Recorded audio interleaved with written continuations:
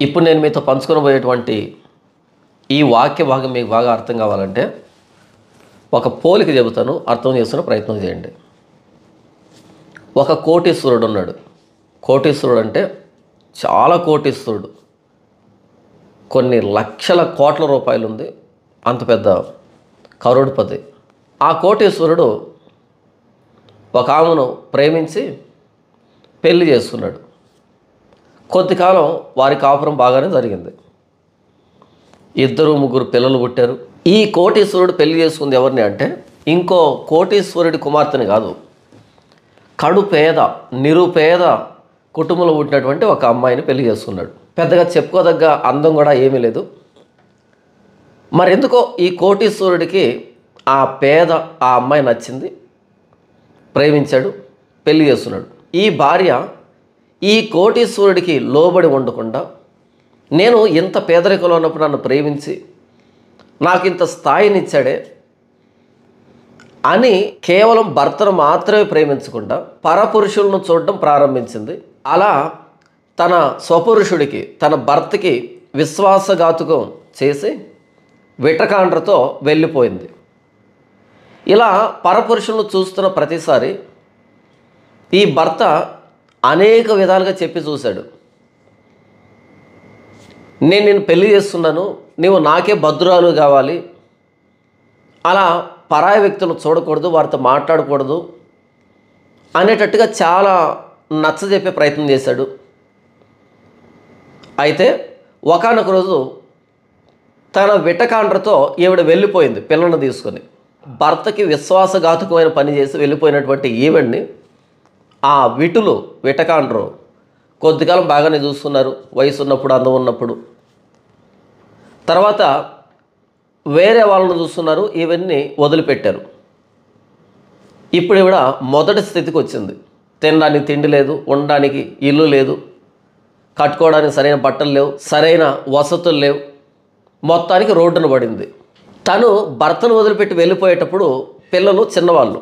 ఇప్పుడు పెద్దవాళ్ళు అయ్యారు కదా వీళ్ళు అడిగారు అమ్మ మనమేంటి ఇంత కడు పేదరికంలో బ్రతుకుతున్నాం మా నాన్న ఎవరు అని అడిగారు తల్లిని. అప్పుడు ఆవిడ చెప్పింది మీ నాన్న కోటీశ్వరుడు.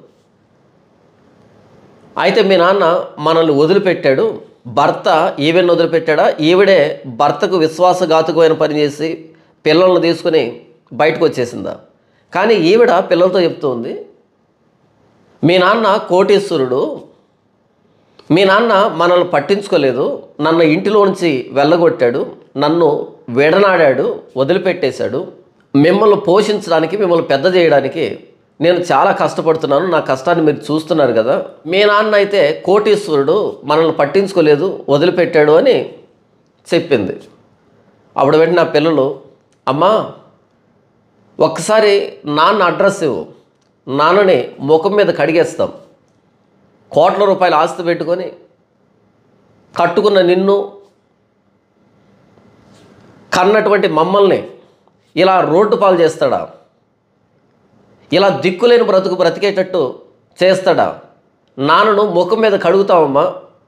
నాన్న అడ్రస్ ఇవ్వు అని నాన్న అడ్రస్ తీసుకొని ఆ పిల్లలు నాన్న దగ్గరకు వచ్చారు. వచ్చి నాన్నను నిలదీస్తున్నారు. నువ్వు అసలు మనిషివేనా? నువ్వు అసలు తండ్రివేనా? కట్టుకున్న భార్యను ఇలా అనాథం చేస్తావా? చెట్టు కింద బ్రతుకుతుంది మా అమ్మ. మేము కూడా కడు పేదరికంలో బ్రతుకుతున్నాం. మమ్మల్ని వదిలిపెట్టి నీకు మూడు పూట్ల తినాలని ఎలా అనిపిస్తుంది? నువ్వు అసలు మనిషివేనా? నీకు అసలు మనసు ఉందా? అనేటట్టుగా గట్టి గట్టిగా మాట్లాడటం ప్రారంభించారు. ఒకవేళ మీరే గనక ఆ తండ్రి స్థానంలో ఉంటే ఆ పిల్లలు అంటున్నటువంటి మాటలకి మీరు ఏమని సమాధానం చెప్తారు? మీరైతే ఏం చెబుతారో నాకు తెలియదు కానీ ఆ తండ్రి స్థానంలో దేవుడు ఉంటే గనక దేవుడు ఏమని వారికి బదులు ఇస్తాడు అన్నది యశా గ్రంథం యాభై అధ్యాయం మొదటి వచ్చిన నుంచి నేను చదివి వినిపిస్తాను. యహోవా ఇలాగ సెలవిచ్చుచున్నాడు. నేను మీ తల్లిని విడనాడిన పరిత్యాగ పత్రిక ఎక్కడ ఉన్నది? నా అప్పుల వారిలో ఎవనికి మిమ్మల్ని అమ్మివేసితని? మీ దోషములను బట్టి మీరు అమ్మబడితిని. మీ అతిక్రమములను బట్టి మీ తల్లి పరిత్యాగం చేయబడిను. నేను వచ్చినప్పుడు ఎవడను లేకపోనేలా. నేను పిలిచినప్పుడు ఎవడను ఉత్తరమీయకుండానేలా నా చెయ్యి విమోచించలేనంత కొరచే విడిపించుటకు నాకు శక్తి లేదా? నా గద్దింపు చేత సముద్రమును ఎండబెట్టుదును. నదులను ఎడారిగా చేయుదును. నీళ్ళు లేనందున వాటి చేపలు కంపు కొట్టి దాహము చేత చచ్చిపోవును. ఆకాశమున చీకటి కమ్మ చేయుచున్నాను అవి గోనెపట్ట ధరింపజేయుచున్నాను. ఇక్కడ యహోవా ఇస్రాయేలీలతో అంటున్నాడు. నేను మీ తల్లిని విడనాడిన పరిత్యాగ పత్రిక ఎక్కడ ఉన్నది? నా అప్పుల వారిలో ఎవరికి మిమ్మను అమ్మివేసతని. ఈ వాక్య భాగాన్ని అర్థం చేసుకోవడానికి ముందు ఒక పోలిక చెప్పాను కదా. ఆ పోలికలో తల్లి ఎవరు అంటే యోదయ దేశం. దాని పిల్లలు ఎవరంటే యూదులు. యోదయ దేశంలో ఉన్నటువంటి యూదులు దేవుడైన యహోవాతో నిబంధన కలిగినటువంటి ప్రజలు. దేవుడు ఇస్రాయేలీలని ఆరు వందల పదమూడు ఆజ్ఞల చేత సీనాయి పర్వతం దగ్గర వివాహం చేస్తున్నాడు. ఇస్రాయేల్ జాతితో నిబంధన చేస్తున్నాడు. మీరు నాకు కట్టుబడి ఉండాలి. నేను చెప్పిన పోలికలో కోటీశ్వరుడు ఉన్నాడే. ఆయన సైన్యములకు అధిపతికి యహోవా. తాము త్రవ్వని బావులను చేదుకుంటూ తాము కట్టని ఇండ్లలో నివాసం ఉంటూ తాము విత్తనటువంటి తాము శుద్ధి చేయనటువంటి పొలాలను అనుభవిస్తూ సర్వ సమృద్ధి క్షేమాల మధ్య ఉన్నటువంటి ఆ ఇస్రాయల్ జాతి యహోవాకే కదా కట్టుబడి ఉండాల్సింది. అయితే విగ్రహారంతో నిండిపోయింది ఇస్రాయల్ దేశం అంతా అలా విగ్రహారాధనతో పాటు అనేకమైన పాపాలు హేయమైన నీచమైన కార్యాలు చేసి దేవుని ఆజ్ఞను భంగపరిచి అనేకమైన విపత్తులను కొని తెచ్చుకున్నారు ఇస్రాయేలీలు. అనేకమైన విపత్తులు కరువులు ఉపద్రవం శ్రమ నింద అవమానం అనారోగ్యం ఎన్నో ఉపద్రవాలను కొని తెచ్చుకున్నారు ఇస్రాయేలీలు. ఆ కష్టాల నడుమ యూదులు ఒకరితో ఒకరు చెప్పుకుంటున్నటువంటి మాట ఏంటంటే నేను చెప్పిన పోలికలో ఆ చెట్టు కింద దారి పక్కన ఆ తల్లి పిల్లలతో చెప్తుంది మీ నాన్న మనల్ని వదిలిపెట్టాడు అని. ఇంతకీ నాన్నను వదిలిపెట్టింది ఎవరు? ఈవిడ తన బిట్టకాండ్రను వెతకడానికి తన లైంగిక వాంఛను తీర్చుకోవడానికి తనని ఏమీ లేనప్పుడు ప్రేమించినటువంటి ఆ భర్తని వదిలిపెట్టి విశ్వాసఘాతకమైన పనిచేసి ఈ దారుణమైన పరిస్థితిని అనుభవిస్తుంది. కానీ పిల్లలకి ఏం చెప్తుందంటే మీ నాన్న మనల్ని వదిలిపెట్టాడు అని. అలాగే ఇస్రాయేలీలు దేవుని నిబంధనను అతిక్రమించి వారి పాపానికి పర్యవసానమైనటువంటి ఆ ప్రతికూల పరిస్థితులను అనుభవిస్తూ ఇప్పుడైనా దేవుని క్షమాపణ వేడకుండా దేవుడు మమ్మల్ని వదిలిపెట్టాడు అని దేవుడి మీద నేరారోపణ చేస్తున్నారు. అయితే సియోను సియోను అంటే ఇక్కడ ఎరుసలేమని అయితే సియోను అంటే యోదయ దేశము ఎరుసలేం అంటే యోదయ దేశానికి రాజధాని. అంటే మొత్తంగా యోదయ జాతి గురించి మాట్లాడుతూ అయితే సియోను యహోవా నన్ను విడిచిపెట్టి ఉన్నాడు ప్రభు నన్ను మరచి ఉన్నాడు అనుకొనుచున్నది. అయితే సియోను యోదయ జాతి యహోవా నన్ను విడిచిపెట్టాడు నన్ను మరిచిపోయాడు అని అనుకుంటుందంట. వాస్తవానికి దేవుడు యోదయ ప్రజలను విడిచిపెట్టాడా? యోధా జనాంగం దేవుని విడిచిపెట్టారా? దేవుని నిబంధనను భంగపరచడం ద్వారా. యోధా ప్రజలు కదా దేవుని విడిచిపెట్టారు. కానీ ఏమని మాట్లాడుకుంటున్నారు? దేవుడు మమ్మల్ని విడిచిపెట్టాడు. ఈ మాటలు విన్నటువంటి దేవుడు ప్రవక్త అయిన యశా ద్వారా యోధా ప్రజలతో ఏమని మాట్లాడుతున్నాడు అంటే యహోవా ఇలాగ సెలవిస్తున్నాడు నేను మీ తల్లిని విడనాడిన పరిత్యాగ పత్రిక ఎక్కడ ఉన్నది? నా అప్పుల వారిలో ఎవనికి మిమ్మను అమ్మివేసతుని ఓ యూదులరా నేను మిమ్మల్ని విడనాడాను అని మీరు అంటున్నారు కదా నేను మీ తల్లికి పరిత్యాగ పత్రిక ఇచ్చానా? ఒకసారి తీసుకున్నట్టు చూద్దాం. నేను ఎవరి దగ్గరైనా అప్పు చేసి బబులోనీల దగ్గర కానీ అషూరియుల దగ్గర కానీ ఐగుప్తీయుల దగ్గర కానీ చుట్టుపక్కల అన్ని రాజ్యాల దగ్గర నేనేమైనా అప్పు చేసి నా అప్పు తీర్చలేక మీ తల్లిని కానీ మిమ్మల్ని కానీ తాకట్టు పెట్టానా? బానిసలుగా అప్పగించానా? అందుకని మీరు అశూర్ రాజుకి సేవ చేస్తున్నారా? అందుకని మీరు ఐగుప్తు రాజుకి ఊడిగం చేస్తున్నారా? అందుకనే బబులోనికి చెరగా వెళ్తున్నారా? నేను అప్పు చేసి అప్పు తీర్చలేక మిమ్మల్ని తాకట్టు పెట్టానా? ఒకవేళ అయితే ఆ చీటీ తీసుకుని రండి అని దేవుడు అడుగుతున్నాడు. మనం నమ్మకత్వాన్ని కోల్పోతే కోల్పోవచ్చు కాక కానీ దేవుడు నమ్మదగినవాడు ఆయన స్వభావం నమ్మదగినవాడు క్షమించుటకు సిద్ధమైన మనసు కలిగిన దేవుడు క్షమించడానికి సిద్ధమైన మనసు కలిగిన దేవుడు. యోదయ జాతి పాపం చేసింది. మరలా వచ్చి క్షమాపణ అడిగితే ఆయన క్షమించడానికి సిద్ధమైన మనసు కలిగిన దేవుడు కదా. కానీ యోదయ జాతి దేవుని దగ్గరికి వచ్చి క్షమాపణ వేడలా సరికదా? ఆ పాపాలను కప్పిపుచ్చుకుంటూ ఆ పాపాలకు పర్యవసానమైనటువంటి ఆ గట్టు పరిస్థితులు ఎదుర్కొంటూ మరలా ఒకరొకరు మాట్లాడుకుంటున్నారు. యహో మమ్మల్ని విడనాడాడండి విడిచిపెట్టేశాడండి పరిత్యాగ పత్రిక ఇచ్చేశాడండి. మనం కూడా చాలా సందర్భాల్లో దేవుడు మమ్మల్ని మర్చిపోయాడు. దేవుడు మమ్మల్ని పట్టించుకోవట్లేదు. మేము ఎంత ప్రార్థన చేసినా సమాధానం రావట్లేదు అని మన వైపు మనం తప్పు చూపించుకోం దేవుడి మీద తప్పుని నెట్టివేసే ప్రయత్నం చేస్తాం. మేము చాలా మంచోళ్ళమే. దేవుడే మా విషయంలో మమ్మల్ని పట్టించుకోవటం లే దేవుడు మమ్మల్ని మర్చిపోయాడు. దేవుడు ఎక్కడ ఉన్నాడండి ఉంటే ఆయన మమ్మల్ని ఎందుకు పట్టించుకోడండి? అనేటట్టుగా దేవుడి మీద నేరారోపణ చేస్తుంటాం చాలా సందర్భాల్లో. యూదులు కూడా అదే పని చేస్తున్నారు. యహో మమ్మల్ని విడనాడాడు. ఆయన మమ్మల్ని మర్చిపోయాడని.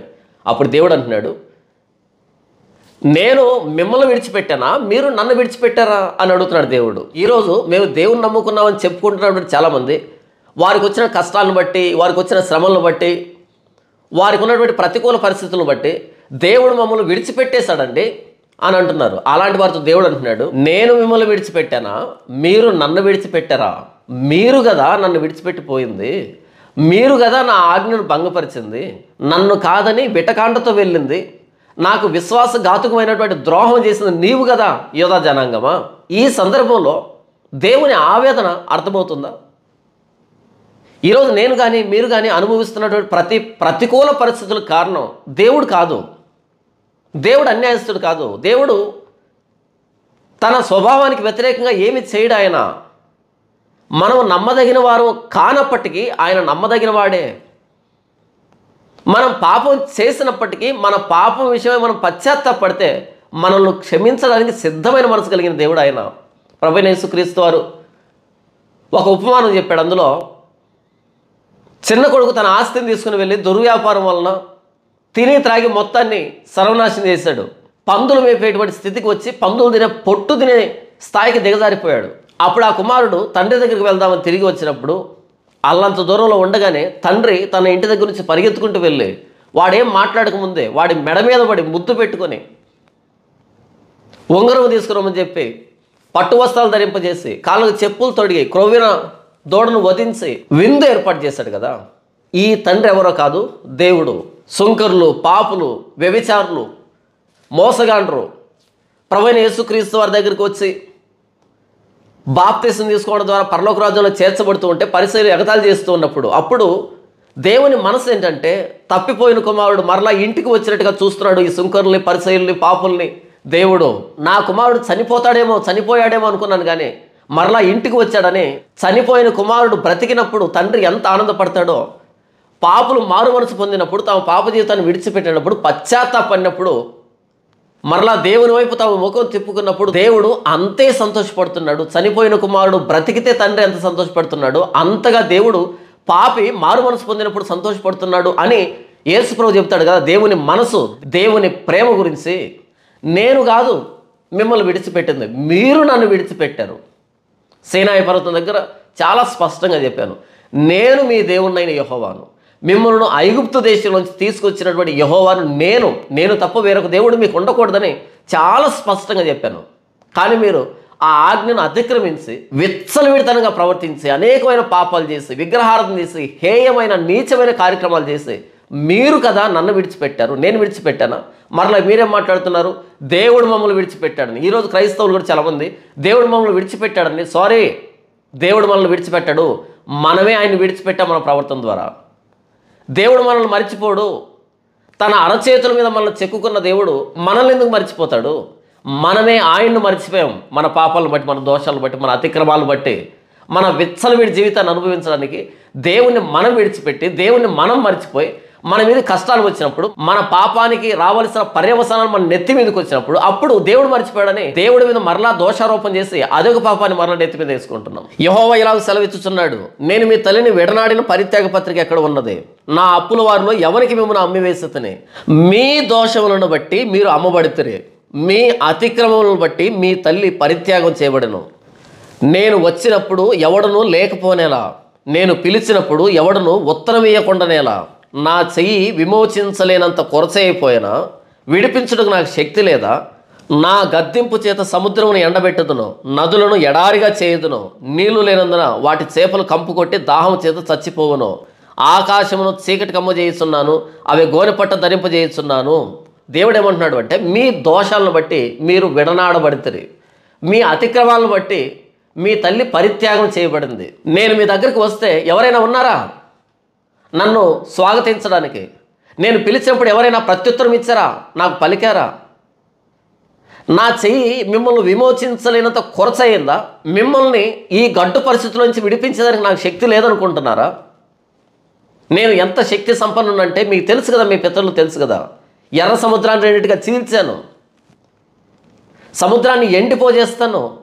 నదులను ఎండిపోజేస్తాను అని నైలు నదిలో ఉన్నటువంటి చేపలనైనా కుర్రబెట్టినటువంటి విధానం. దేశం కంపు కొట్టుకుని పోయింది కదా. నా బాహుబలాన్ని గురించి మీకు తెలుసు కదా మీ చరిత్రలో మీ పితరుల మీద చెప్పారు కదా. ఎర్ర సముద్రాన్ని ఎండబెట్టినోడిని నైల్ నదిని రక్తంగా మార్చినోడిని ఐగుప్తు దేశం కుళ్ళిపోయింది. ఇంకా ఆయన అంటున్నాడు నేను ఆకాశాన్ని చీకటి కమ్మ చేస్తాను. సూర్యచంద్ర నక్షత్రాదులు గోనెపట్ట ధరించేటట్టుగా అంతటి శక్తివంతుణ్ణి మిమ్మల్ని ఎందుకు రక్షించలేకపోతున్నాను తెలుసా? మీ దోషాలను బట్టి మీ పాపాలను బట్టి మీ అతిక్రమాలను బట్టి. మిమ్మల్ని విమోచించలేనంతగా నా చెయ్యి కొరచగాలే. నాకు శక్తి లేక కాదు మిమ్మల్ని విడిపించింది. మీ పాపాలు ఎప్పుడు ఒప్పుకున్నారు మీరు అసలు? నా ఆజ్ఞలు భంగపరిచి విగ్రహారాధన చేసి పాపంలో పడిపోయి హేయమైన కార్యాలు చేసి ఇంత కష్టాలు అనుభవిస్తూ ఇన్ని గడ్డు పరిస్థితులు బ్రతుకుతూ కూడా ఇప్పటికైనా మీరు పశ్చాత్తపడ్డరా? ఇప్పటికీ మీరు మాట్లాడుతూ మాట ఏంటంటే యహో మమ్మల్ని విడిచిపెట్టాడు పెట్టినాడు ఆయన మమ్మల్ని మరిచిపోయాడని మరలా నా మీద మీరు నేరారోపణ చేస్తున్నారు కానీ ఒక్కడైనా పశ్చాత్తపడ్డా మీరు పశ్చాత్తపడితే మీరు క్షమాపణ పెడితే మరలా నా దగ్గరికి వస్తే నేను మిమ్మల్ని రక్షించాలని ఎదురు చూస్తున్నా. ఎర్ర సముద్రాన్ని ఎండబెట్టినప్పుడు నేను ఎంత శక్తి సంపన్నుడినో ఇప్పుడు కూడా అంతే శక్తి ఉంది నా దగ్గర. ఆకాశ సైన్యానికి గోనెపట్ట ధరింపజేస్తాను. ఇప్పటికీ అంతే శక్తివంతుణ్ణి మీలో మార్పు రాలే. మీ దోషాలు మీ అతిక్రమాలు మీరు ఒప్పుకుంటే ఒకప్పుడు మీ పితరులు ఎర్ర సముద్రం దగ్గర నా బాహుబలాన్ని చూశారు కదా. మీరు కూడా చూస్తారు నా శక్తిని. ఐగుప్తు దేశంలో పది రకాల తెగులు రప్పించారు కదా. మీ పితరులు చూశారు కదా మీరు కూడా చూస్తారు నా బాహుబలాన్ని ఇప్పుడు. మిమ్మల్ని విడిపించడానికి శక్తి లేక కాదు మీరు మారలే. నేను మిమ్మల్ని విడిచిపెట్టలే మీరు నన్ను విడిచిపెట్టారు. మీరు మీ పాపపు మార్గాల్లో బ్రతకడానికి నన్ను అమ్మి వేసుకున్నారు నన్ను మార్చుకున్నారు. వెళ్ళండి అన్ని జనుల్లోనికి. దైవత్వం లేని విగ్రహాలను ఏ జనమైనా మార్చుకుందా? ఇరుమే గ్రంథంలో అంటాడు దేవుడు.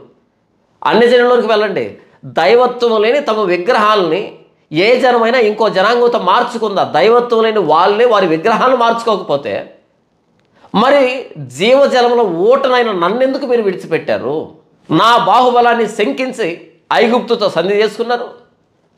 నా శక్తి సామర్థ్యాలు అవమానించి అశ్వరు రాజులతో నిబంధన చేసుకున్నారు. నన్ను విడిచిపెట్టి బబులో నీళ్ళతో సహవాసం చేశారు. నేను మిమ్మల్ని విడిచిపెట్టలే మీరే నన్ను విడిచిపెట్టారు. నేను మిమ్మల్ని అమ్మివేయలే మీరే నన్ను నమ్మి వేసుకున్నారు దైవత్వం లేనటువంటి మూగ విగ్రహాలను ఆరాధించడానికి. కాబట్టి మీ పాపానికి ఫలితమైనటువంటి పర్యవసానాలను ఇప్పుడు అనుభవిస్తున్నారు. కరువుల రూపంలో రోగాల రూపంలో కష్టాల రూపంలో నష్టాల రూపంలో యుద్ధాల రూపంలో అవమానం రూపంలో నింద రూపంలో మీ పాపానికి ఫలితమైన పర్యవసానాలు అనుభవిస్తున్నారు. ఈ లేఖన భాగం ద్వారా దేవుడు మనందరితో మాట్లాడుతున్నాడు. దేవుడు మనల్ని విడిచిపెట్టేవాడు కాదు. తన అరచేతుల మీద మనల్ని చెక్కుకున్న దేవుడు మనల్ని ఎందుకు విడిచిపెడతాడు? చూడుము నా అరచేతుల మీద నిన్ను చెక్కి ఉన్నాను అన్నది ప్రవచన వేశ్య గ్రంథంలో. ప్రవీణ యేసుక్రీస్తు వారు సెలువు మీద అరచేతులు మేకులు కొట్టించుకున్నాడు మనం చేసిన పాపాలకి. కాళ్ళలో మేకులు కొట్టించుకున్నాడు తల మీద ముళ్ళ కిరీటం గుండెల్లో బల్లెం పోటు ఒళ్ళంతా కొరడా దెబ్బలు పిడిగుద్దులు. ఆ కలువరి సెలువులో ఆయన పడిన శ్రమ లేఖనంలో మనం చూస్తున్నాం కదా. పాపాత్ములైన మన కోసం తన్ను తాను సెలువుకు అప్పగించుకునేంతగా సెలువులో ప్రేమ చూపించాడే. ఆయన మనల్ని విడిచిపెట్టడం ఏంటి? ఆ ప్రశ్న ఏంటి అసలు అది ఎలుగడుతాను ఎవరైతే దేవుడు మా ప్రార్థన వినటం లేదు దేవుడు మమ్మల్ని విడిచిపెట్టేశాడు దేవుడు మమ్మల్ని మరిచిపోయాడు మనం పుట్టక ముందే మన పాపాలని ఆయన మీద వేసుకొని సెలువులో భరించినటువంటి ప్రభుని యేసుక్రీస్తారు మనల్ని విడిచిపెట్టడం ఏంటి? మనమే ఆయన్ని విడిచిపెట్టాం.